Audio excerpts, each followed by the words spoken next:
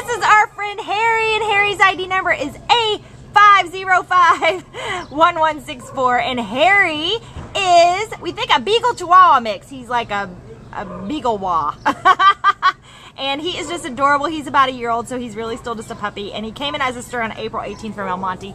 He weighs all of eight pounds, and this guy is just in love with the wonders of the world. He is on life's big adventure. He just walks around happy to check everything and anything out and just looks at everything like it's his first time seeing it. And it's just so awesome to watch life through his eyes.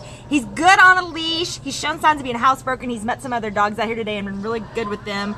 He's kissy and affectionate and just walks around and wags his tail when he meets everyone. And we just think he's going to be a fabulous family dog. Um, and it's just going to be so much fun and just a lot of enjoyment to just watch how he sees the world as just a big adventure um, and just wants to oh explore everything. He's just so cute. So come on down, meet Harry, take him home to be part of your forever family from the Baldwin Park Shelter, and you are just going to love this doggy because he is so great, right, Harry?